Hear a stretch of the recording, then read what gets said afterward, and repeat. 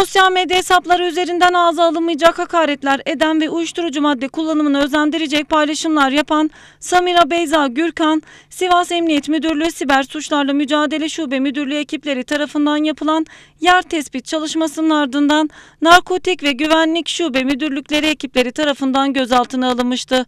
İşlemlerin ardından Gürkan çıkarıldığı mahkemece tutuklanarak cezaevine gönderilmişti.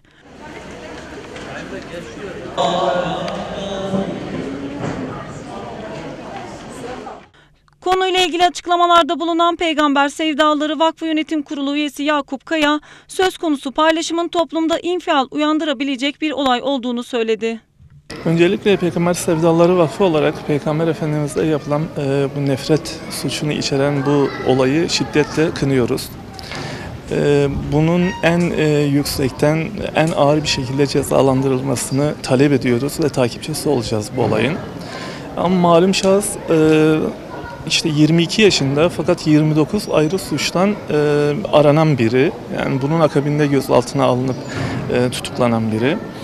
E, malum e, Müslüman bir toplumda yaşıyoruz ve e, Peygamber Efendimiz bizim kırmızı çizgimiz.